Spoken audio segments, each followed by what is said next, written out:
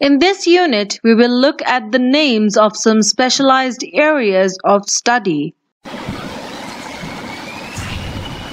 Horticulture is the study of growing plants and cultivating fruits and flowers.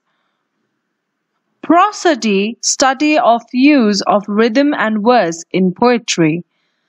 Zymurgy is the branch of chemistry dealing with winemaking.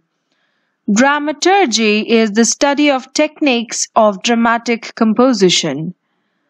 Philately is the study and collection of postage stamps. Toxophily is the art and sport of archery.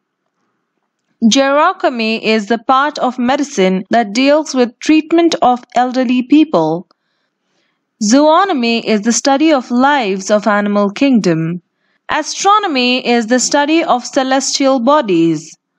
Gastronomy is the study of cooking and fine dining.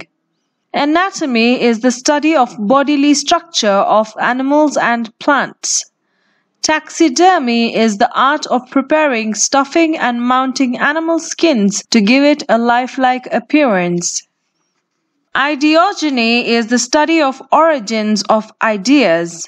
Geogeny is the study of origin and history of earth. Ethnogeny is the study of origins of races or ethnic groups.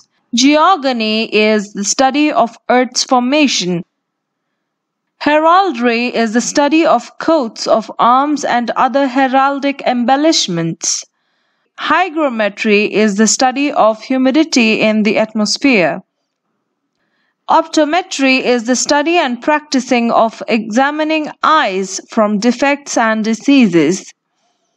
Chemistry is the study of composition and chemical properties of a substance. Floristry is the art of cultivating and selling flowers. Selenodesy is a branch of astronomy dealing with determining the properties of moon.